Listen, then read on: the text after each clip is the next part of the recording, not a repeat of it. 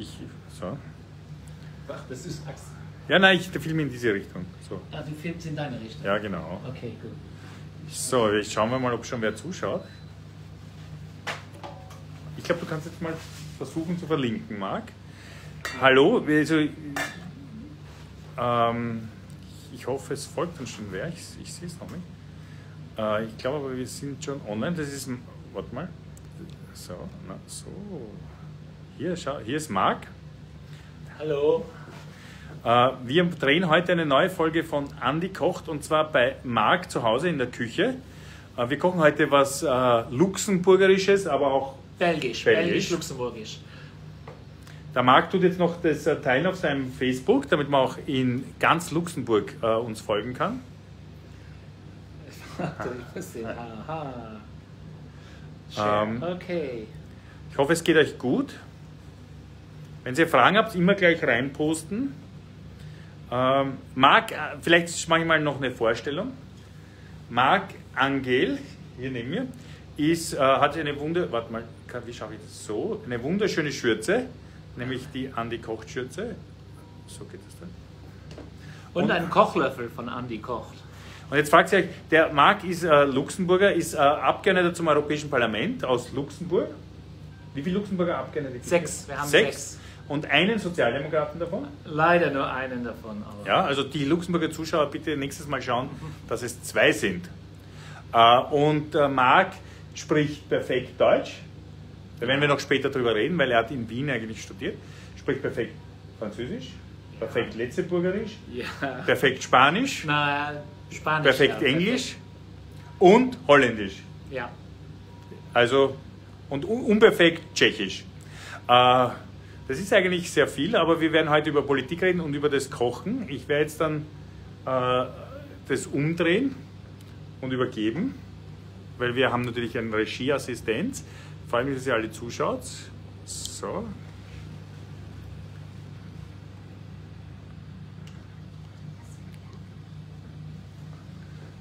Achso, wir brauchen jetzt noch das WLAN, aber ich filme mal hier. Ja, hier, warte. Hier, hier ist das, äh, hier auf dem Kasten ist er ein, ein, ein hier, So, also damit wir uns mal auskennen, hier kocht der Chicory.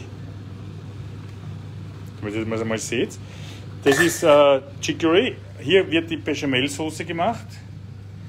Und äh, hier kommt der Antennen, beziehungsweise eigentlich Tiroler Schinken dazu. Ähm, Und was sehr wichtig ist, Andy, darf ich was sagen?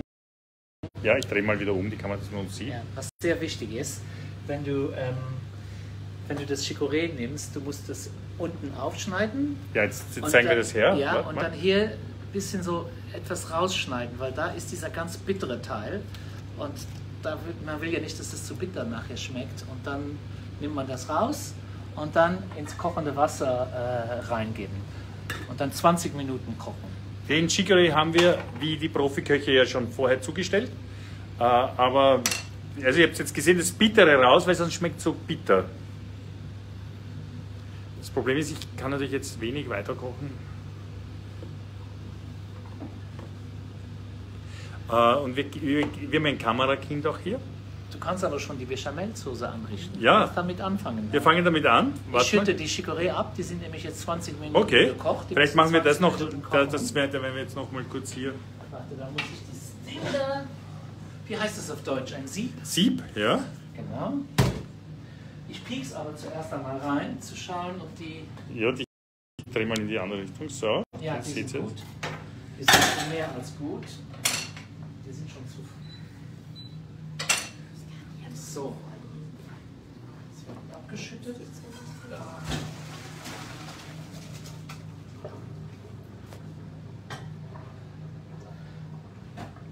Die sind natürlich jetzt mega heiß. Das Ja. muss man aufpassen, dass man sich die Finger nicht verbrennt. Und, ähm, die, und die legen wir jetzt auf ein Brett.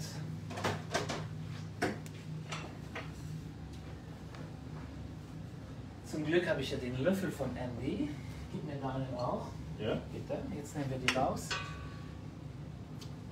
Jetzt drücken wir so drauf, dann kommt noch ein bisschen Wasser raus. Das ist auch sehr wichtig. sonst wird das zu wässrig nachher. Ne? Da muss man schön so das Wasser rausdrücken. So. Achso, damit es nicht so quatschig ja, ist. sonst, sonst sind, sind die äh, sehr. Sonst wird die Bechamelsoße äh, geht dieses ganze Wasser in die Bechamelsoße rein. So. Also es gibt schon eine Frage, Ja. nämlich was wird das? Das wird ein Gratin, äh, ein französischer Gratin de Chicon. Also, wir werden jetzt diese Chicorée, auf Deutsch heißt es ja Chicorée, die haben wir gekocht, 20 Minuten in ein bisschen Salzwasser. Und jetzt werde ich die hier äh, umwickeln mit, mit äh, äh, Schinken, mit gekochtem Schinken. Aber ich finde, ich mache immer noch eine Scheibe äh, Tiroler Schinken dazu oder so einen rohen Schinken dazu. Da kriegt es nämlich mehr Geschmack. Das werdet ihr nachher sehen, aber wichtig, wie gesagt, ist, dass wir hier diese ganze Wasser rausdrücken und dann äh, können wir, lassen wir die zwei Minuten abkühlen, weil sonst verbrennen wir uns, wie gesagt, die Finger und dann wickeln wir den, den Schinken da herum. Aber Andy, du kannst schon mal mit der Bechamel zusammen. Ja, was machen wir da? Wir nehmen da eine Butter. Butter und da geben wir ein bisschen Mehl rein und dann Milch und Rahm und rühren das auf. Und Salz und zer- zer- Schmelzen. Schmelzen? wir die Butter. Wo rührst du das denn her? Hier. Ach, das ist früher einfach, wenn man das so rumgedreht Ja. hat. So, Siebener da oben. Kochlöffel, Kochlöffel. Salz. Pfeffer. Salz, Pfeffer, das Mehl hast du da. Das kommt erst, wenn der, die Butter. Hier habe ich Salz, hier habe ich Pfeffer. Ja. Und was sehr wichtig ist, wie gesagt, die Muskatnuss, damit diese Bechamelsoße etwas Geschmack bekommt. Ähm, jetzt mal zu dir. Du, Ja. du bist, du warst früher im Luxemburger Parlament. Ja, 16 Jahre lang war ich national im, im Luxemburg, wie man bei euch wird das Nationalrat, also im Luxemburger Parlament Mitglied, ja. Aber er ist eigentlich Wiener. Na, ich habe in Wien studiert. Das war ganz, meine schönsten Jahre waren in Wien. Und ich glaube, ich bin eigentlich auch so sehr, äh, ich bin Ja. Sozialdemokrat geworden, weil das rote Wien hat abgefärbt.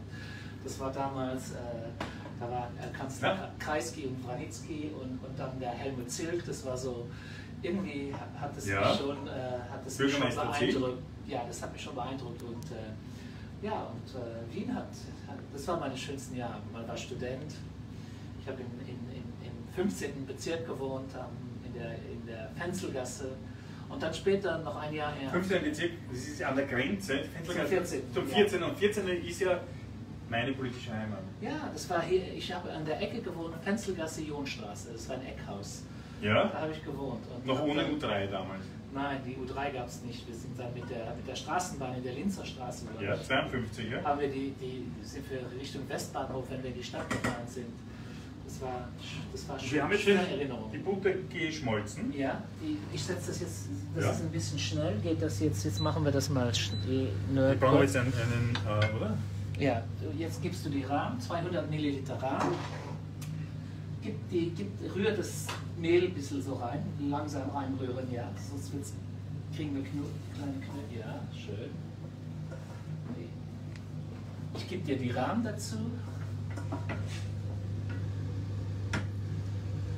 So. Und dann Ich glaube, es ist, es ist Ober, also man weiß ja nie so genau, diese Begriffe, finde ich, ist nicht so leicht hier immer. Was ist, was ist Oberst, was ist Rahm, ja, was ist Schlagoberst hier? Das ist Crème Chantilly auf Französisch. Ja. Ich habe immer geglaubt, ja bis heute, dass Chicory eigentlich ein französisches Wort ist, also Nein, Chicorée. nein, nein, nein. Chicon auf der Und jetzt kommst du da mit einem Chicon, ja? Ja, Chicon heißt das. Chicon Gratiné. Auf Belgisch, Französisch, auf egal, kann ich nur sagen. So, die Bechamel würzen. Darf ich, Andy? Ja, ja, alles. Du bist der, der Chef de Cuisine.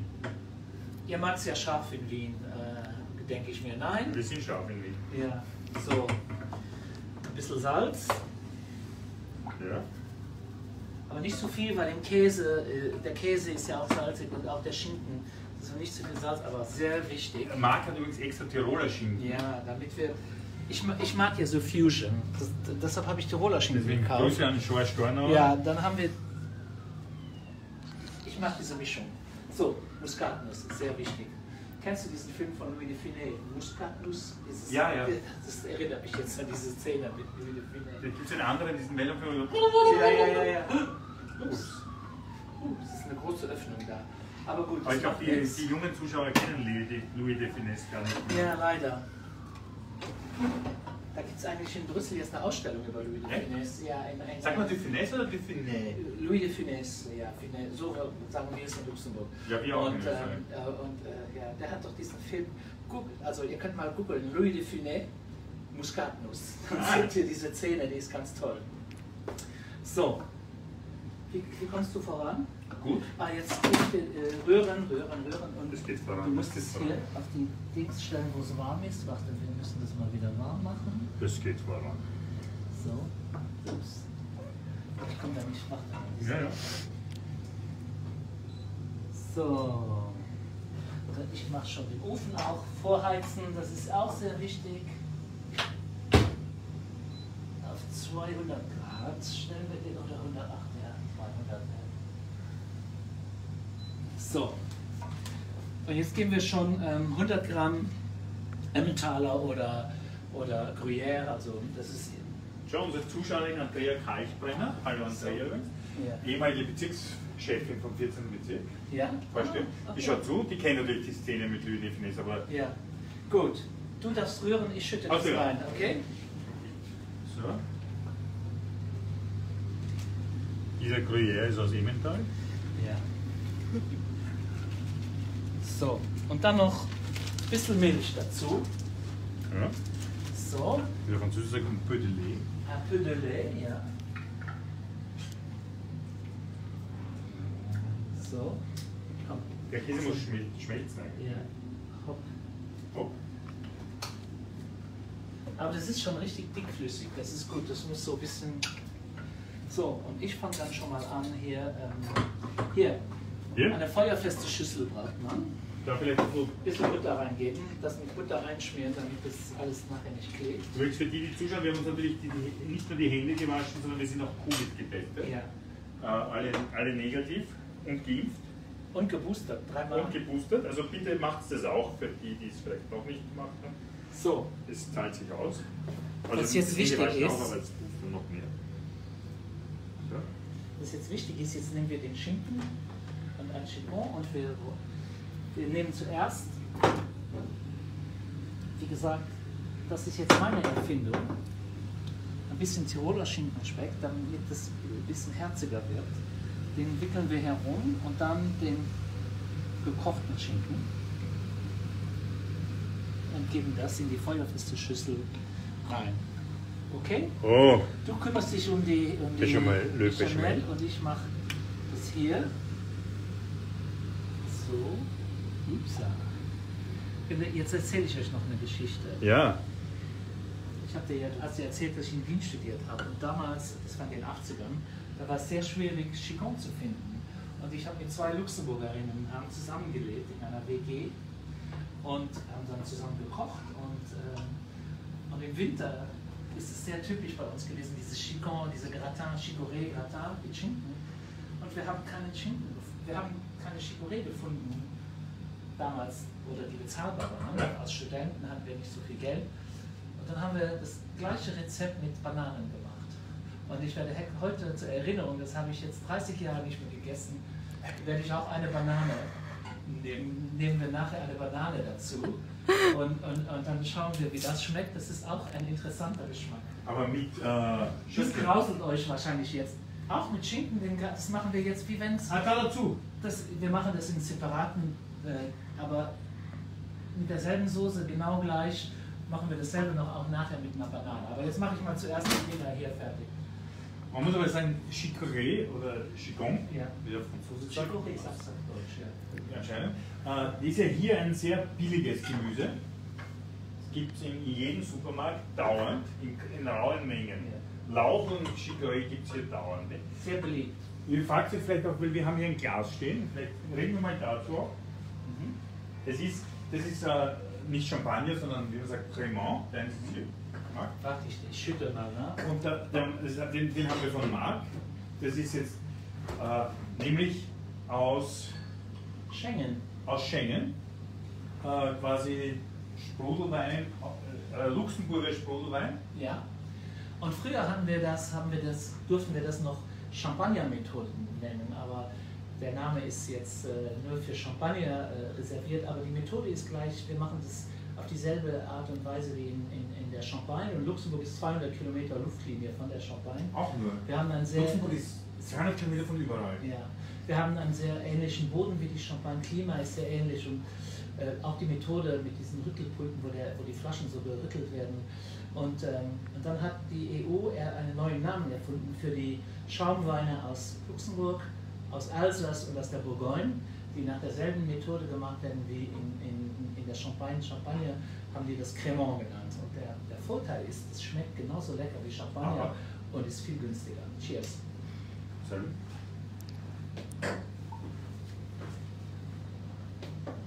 So, hier noch eine Frage. Ähm, ich spiele ja nicht Koch, wir kochen heute wirklich, aber natürlich ist Politik auch ein Thema. Du bist im Europaparlament seit 2019, Ja. warst davor äh, eben im, im Luxemburger Parlament. Mhm. Äh, was, waren, was sind deine Themen hier im Europaparlament? Vielleicht mal. Ja, ich habe ich hab hier im Europaparlament, mein Hauptausschuss ist der ähm, ähm, Employment, äh, äh, Beschäftigungsausschuss und, und, und Soziales. Äh, Der Luxemburger Kommissar ist ja auch äh, Ja. Für, für Beschäftigung und ist von meiner Partei ein Sozialdemokrat. Und Wenn jetzt wer weiß, wie er heißt, bitte mal in die Nikola. Schmidt, Nikola Schmidt, ja. Das ist allen Und ähm, ich habe mit Nikola Schmidt die Wahlkampagne gemacht. Er war ja auch gewählt und ich bin ja danach gerückt, als er Kommissar wurde, EU-Kommissar wurde. Und wir haben zusammen gekämpft für ein soziales Europa und ich bin sehr stolz, dass er Portfolio jetzt hat in der Kommission und ich glaube, er hat ja schon vieles Er macht eine, eine ganz wichtige Sache, den europäischen Mindestlohn. Genau, europäischen Mindestlohn und er hat äh, diesen europäischen Pfeiler, die europäische Säule der sozialen Rechte, hat er einen Aktionsplan gemacht. Er kommt jetzt, er hat einen Aktionsplan für Social Economy gemacht. Er, er ist wirklich super aktiv und äh, ich bin sehr eigentlich sehr stolz, dass, dass, dass ich dann mit dem Ausschuss bin, mit dem wir eng mit Nicola zusammenarbeiten. Mein anderer Ausschuss ist, ähm, äh, bin auch sehr aktiv im, im IMCO, das ist der Binnen, Binnenmarktausschuss, aber auch für Konsumentenrechte. Und ich finde, als Sozialdemokraten, wir sind da sehr aktiv, meine Kolleginnen und Kollegen aus, äh, von den Sozialdemokraten, wenn es um die äh, Konsumentenrechte geht. Die, die, die, die, ist es Konsumentenrecht? Ja, ja, ja. Und, und, und das, das ist, finde ich, auch ein sehr sozialdemokratisches Thema. Und dann äh, bin ich noch im Petitionsausschuss. Das ist ja nicht der Ausschuss, der sehr nah an den Bürgern ist, wo die Bürger Petitionen einreichen können wo, wo wir die Petenten einladen in den Ausschuss. Äh, jetzt natürlich online wegen Covid, aber wo man dann wirklich sehr nah am Bürger dran ist. Und das, ist, ähm, das macht mir auch sehr viel Spaß. Und es, ich war auch schon in Luxemburg im Nationalen Petitionsausschuss. Und ähm, da bin ich sehr gern drin. Und dann bin ich noch im, im ECON, das ist für Wirtschaftsfragen. Das ist, Da das ist, äh, das ist auch ein interessanter Ausschuss, ja. Da ist jetzt, ich, ich, weiß- ich habe dich gar nicht vorher gefragt, wie du dazu stehst, das ist vielleicht dünnes Ja. Eis, aber da gibt es jetzt gerade diese große Diskussion über Taxonomie ja. und Atomkraft. Da sind wir ja, da ist ja Österreich und Luxemburg sehr alliiert, auch mit den Deutschen. Wir, äh, wir, wir, wir, wollen, wir haben erstens kein Atomkraftwerk, wir hatten auch Pläne in den 70ern und das wurde abgelehnt, zum Glück. Und ähm, wir haben natürlich Pech, die Franzosen haben uns eins an die Grenze gebaut. 500 Meter hinter der Grenze steht einer der größten französischen Atomkraftwerke, aber wir haben keins in Luxemburg und wir wollen auch nicht, dass in der Taxonomie äh, Atomenergie und auch Gas äh, äh, ähm, als, als, als sustainable, also wie sagt man das? Ja, nachhaltig. nachhaltig. Das heißt ja nicht, ja, und was Leute nicht verstehen und was ich glaube, es wichtig ist, dass wir das erklären, es heißt nicht, dass jetzt in der Transition, wir möchten ja diese Pariser Ziele erreichen äh, ähm, vom Klimaschutz und weniger CO2-Ausschüsse. Das heißt jetzt nicht, dass man in der Transitionsphase überhaupt keine Atomenergie benutzen darf oder überhaupt kein Gas.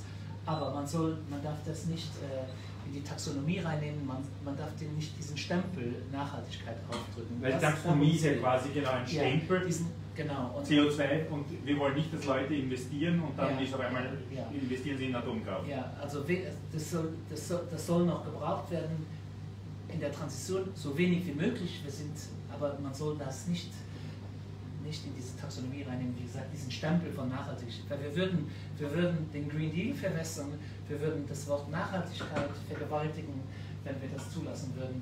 Und äh, Luxemburg, die Luxemburger Regierung ist bereit, ist bereit, sehr weit zu gehen, auch bis zum Europäischen Gerichtshof. Ah, okay. Und ich, ich Wollen wir sagen, es ist ja auch gemischte Regierung, Ja. diese konservativ, äh, Nein, liberal. wir, haben eine, eine, wir haben eine, wie in Deutschland eine Ampelkoalition. Äh, Wir haben die Konservativen abgelöst 2013. Äh, Wir haben das gemacht, was Holland und Belgien schon vor Jahren gemacht hat. Das ist eine Koalition der Mitte, eine Koalition der Mit-Links mit den, äh, mit den Liberalen, Sozialdemokraten und Grünen. Und, Der Regierungschef ist liberal. der Regierungschef ist liberal, ja. Das war damals die Kondition. Wir hatten eigentlich mehr Stimmen, aber haben dann, die waren zweite Partei, jetzt sind die erste Partei, aber jetzt in den Umfragen sind wir wieder die das euer Star ist der Außenminister. Ne? Jean Asselborn, der seit 2004, und 2004 äh, dienstältester EU-Außenminister ist. Und sehr, ja ich manchmal liebe mit, mit Bundeskanzler Kurz angelegt. Ja, also auch Äh, dafür liebe ich ihn. Ja, ja. Aber auch weil er sehr outspoken ist und ich Ja. hasse nichts mehr, als wenn man herumdrückt, sondern Ja. der sagt, was Sache Er ist ist. sehr direkt, er ist sehr direkt. Er ist ja bekannt, noch bekannter geworden, als er Salvini in einem Rat Ja. alors gesagt hat, jetzt reicht's mir. Ja, das ist in Luxemburg die Regierung seit 2013 und wir haben die nächsten Parlamentswahlen im Jahr, ein Jahr vor unseren Europawahlen 2023, also Ah, nächstes okay. Jahr im Herbst gehen wir wählen. Ja. So, ich bin jetzt jetzt machen wir fast die mal fertig, fertig. ja.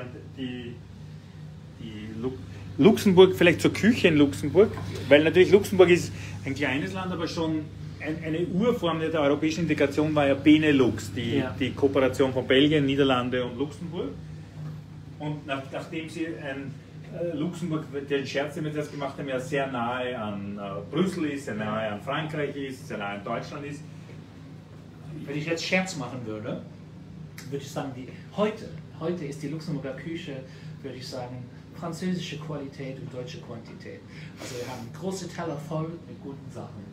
Aber äh, die, die typisch Luxemburger Küche ist eine, eine, wir waren ja ein sehr armer Bauernstaat und es ist eine sehr deftige Küche mit, mit viel Schweinefleisch und, und, und, und auch Kraut oder, oder, Linsensuppen, und das ist ja eigentlich auch ein, Das ein ist so- nicht? Ja, das ist auch so ein Weil Chicorée ist ein ist Gemüse, billig, das, äh, das hält sich den ganzen Winter nicht. Ja. Das kann man in den Keller legen. ist eigentlich sehr saisonal. Also wir könnten eigentlich nicht saisonaler sein. Und ich finde heute, Wir, haben ja heute, wir waren ja einkaufen gemeinsam. Ja. Wir haben geschaut auf Saisonalität und ökologisch. außer wir haben keine Milch, in dem Geschäft, wo wir waren, haben wir keine Milch in Glas, wir mussten Milch in Plastik kaufen. Leider. Aber da wird die EU ja auch aktiv und das wird sie auch bald mit uns. Das machen wir die letzten. Die halte ich für die Banane. Und dann Ach mache so. ich einen anderen, warte. Ja.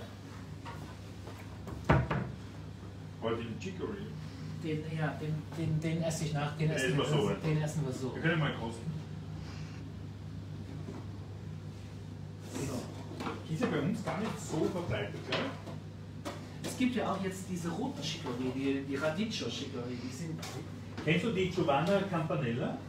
Ja, das ist eine Freundin. Ja, die Giovanna, ciao Bella. Das ist eine gute Freundin von mir. Hallo.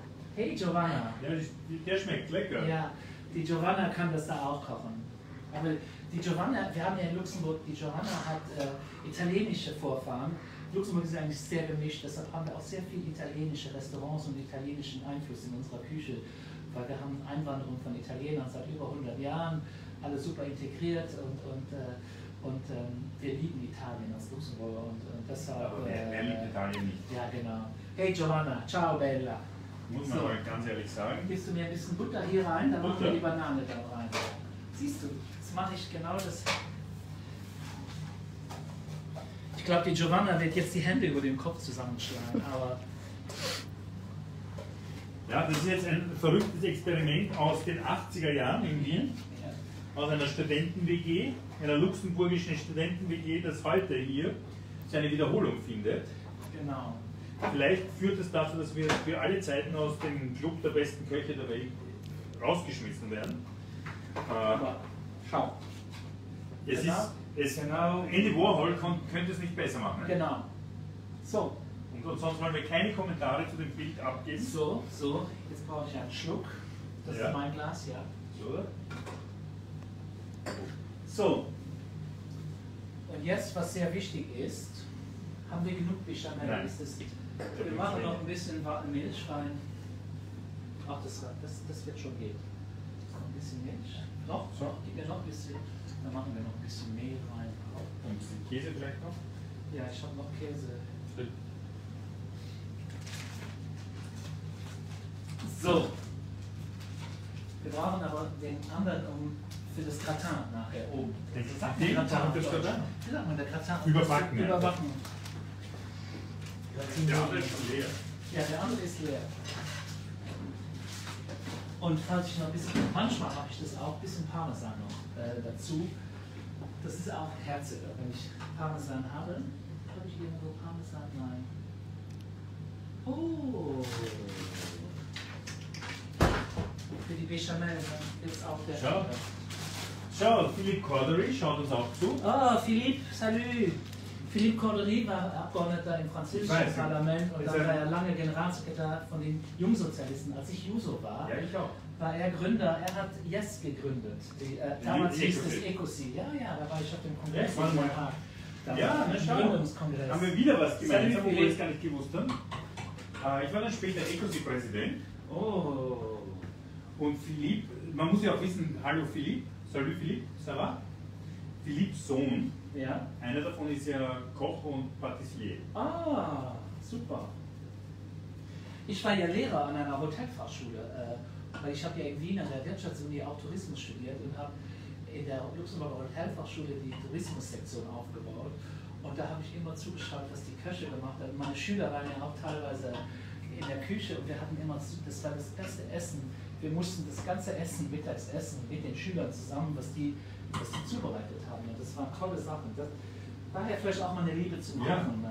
Ich habe zum Beispiel auch mal in, mit einer so einer Hotelfachschule gekocht mit den, mit den Mhm. Studierenden dort, um dann nachher einfach während dem Kochen auch über Europa zu plaudern. Ja, toll. Weil ich finde ja, so wie wir heute beim Kochen kann man ja, und beim Essen noch besser, kann man super plaudern. Ja. Wann lernen wir das drüber, glaubst du? Bitte? Wann äh, werden wir das drüber? Noch einmal, noch einmal aufkochen, ein bisschen aufkochen lassen und jetzt machen wir mal diesen Käse auf. Und Alexandra Marchelet kennst du aus. Ja, kenne ich auch. Ja, deine ganze Fan-Community ist heute hier das live. macht mir Spaß. Ich schaue immer da in das Handy, sorry. Ich bin ja eine Oma, äh, wie man sagt, ohne Modem aufgewachsen. Deshalb äh, kennst du den Ausdruck? Nein. Weil Ich bin ja, ich habe meine Diplomarbeit noch getippt. Du bist schon die Generation mit Computer. Ja, aber nur weil ich so lange studiert habe. Ja, aber deshalb sage ich immer ohne Modem aufgewachsen. Aber ich komme schon zurecht und ich versuche sogar jetzt im Europaparlament paperless zu werden mit meinem iPad. Und, aber das ist gar nicht so einfach. Allem. So, So, jetzt können wir loslegen mit der Soße. sollen wir sie? Ja, behalte nur ein bisschen nachher für hier. So. Wunderbar. Zeig mal her, ja. Gib mal ein bisschen auf die Banane und dann können wir, da braucht nicht so viel. Okay, Banane ist so gut. so gut. Und dann gibst du den Rest darauf. Soll noch was zur Banane? Ja, Rest noch. Kannst du noch ein bisschen zur Banane geben. Schau, ein bisschen. Das, man merkt, ja, schau, es kommt Jetzt, wieder das kommt wieder. Oh, ich fühle mich 40 Jahre jünger. Ja, ich Ach so. auch mein Wunsch. So, und dann hier Käse. Die, du bist übrigens auch, weil jetzt die Evi Holzleit, ne? Ja. Die, ich weiß nicht, ob du die kennst, sicher. Ja. So, die ist nämlich auch für die SPÖ im Nationalrat Mhm. und in, in SPÖ-Frauenchefin. Mhm. Mit einer junge, engagierte, starke Frau als Frauenchefin, das finde ich ganz super. Aber sie ist auch so wie wir beide in der Konferenz zur Zukunft Europas. Okay, ah ja, ich habe sie, da, da Genau. ich sie auch bestimmt, ja. Und weil das ist ein Thema, das wir noch nicht angeschnitten haben. Vielleicht bevor wir, wenn wir das dann ins Rohr weil wir reden sonst. So, das ist alles. Kannst du hier in die Spüle rein, Ja. hopp, In Wien sagt man ja Abwasch. Abwasch. So. Kaum ein bisschen Käse. Ja, geht. Komm, wir sind heute großzügig. Der ist schon gekauft, Ja, dann ja, können wir ja. auch nicht drüber reden. So.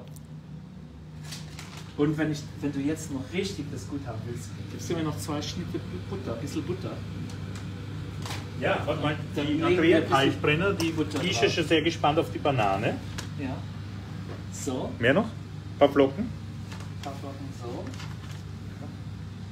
So. Und dann noch äh, für die Banane. Hm. So. Mm.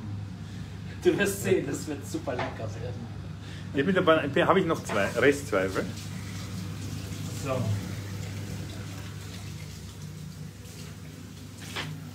Ah, So. Das müssen wir raustun, oder? Nein, nein, Nein. nein, das bleibt rein, drinnen. Äh, machen Stopp.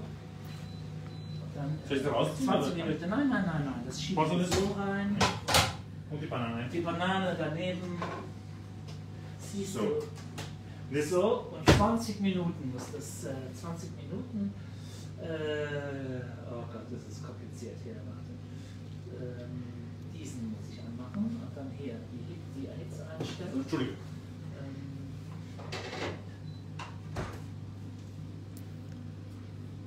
So, dann Start. Ich glaube, das, das läuft jetzt. Übrigens, genau, alle die Und dann eben nachher mache ich auch noch das Gratin auf. Und dann äh, müssen wir noch einen Wein aussuchen. Ja, ich habe einen österreichischen Rotwein, du hast einen äh, Pinot aus äh, Luxemburg. ja. Da können wir mal heute noch so ein, ein Alkoholbattle machen, Österreich-Luxemburg. Wir sind ja ohne Auto hier in Brüssel, also heute unterwegs. Und deshalb, So, und jetzt trinken wir noch ein Gläschen und reden vielleicht, weil keine Angst, wir werden jetzt nicht warten, bis das gerade fertig ist. Wir schicken euch dann noch ein Foto auf, auf Facebook. Aber jetzt reden wir noch kurz über die Konferenz oder über die Zukunft Europas, gar nicht Ja. Konferenz. Was ist deine Europavision? Weil jetzt habe ich mal gelernt, dein Leben war ja schon europäisch. Ja. Studiert in Wien, aufgewachsen in Luxemburg, jetzt Belgien. Äh, Verbindungen nach äh, überall hin, wie man ja auch sieht an den Zuschauern. Jetzt bist du im Europaparlament. Was ist deine große Soziales, hast du schon angesprochen? ja. Für mich, ähm, ich bin ja auch von der Generation von Präsident Mitterrand. Und Präsident Mitterrand hat einen Satz gesagt, äh, Le nationalisme c'est la mort. Nationalismus ist der Tod, das ist schlecht, das ist Krieg. Und ich komme aus Luxemburg, wir waren zwischen Deutschland und Frankreich. Meine Großeltern haben den Krieg mitgemacht. Mein Vater war, äh, war im Krieg versteckt, damit er nicht in die Wehrmacht äh, musste, als Luxemburg von den Nazis besetzt war. Und ähm, diese, diese Idee von, von dieser Wiedervereinigung, also diese Reconciliation, also wie nennt man das, ähm, Frankreich und Deutschland, die sich Ah, versöhnt haben, Wiederversöhnung, die ja, Versöhnung, Versöhnung. diese Versöhnung und dann dieser Gedanke, wir arbeiten jetzt zusammen, dieses Europa als Friedensprojekt, das ist bei vielen Jungen nicht mehr da, aber das ist bei mir noch sehr präsent, weil ich diese ganzen Kriegsgeschichten von meinen Großeltern und Eltern mitbekommen habe und weil ich weiß, wir waren da mittendrin zwischen Frankreich und Deutschland, die 1870 Krieg hatten, 1914, 1940, also dieses Friedensprojekt ist für mich Ja, wichtig. Und dann ist es für mich wichtig, als kleines Land, wir waren immer eine offene Wirtschaft, wir exportieren, wir profitieren. Als kleines Land äh, profitiert man von diesem riesigen Binnenmarkt. Aber Europa ist nicht nur der Binnenmarkt. Ich will, ich will ein Europa, das sich nicht nur um das Wirtschaftliche vom Binnenmarkt kümmert, sondern auch um die Menschen, die in diesem Binnenmarkt arbeiten, sch sch- schwitzen, wenn sie arbeiten, hart arbeiten. Dass es auch um die Menschen geht. Und das soziale Europa liegt mir sehr am Herzen. Und ich glaube, ähm, Covid-19, das einzige vielleicht Positive bei Covid-19 ist, dass bei vielen das Bewusstsein aufgekommen ist, wir brauchen mehr soziales Europa. Und übrigens, vor einem Jahr, genau vor einem Jahr, gab es eine Eurobarometer-Umfrage.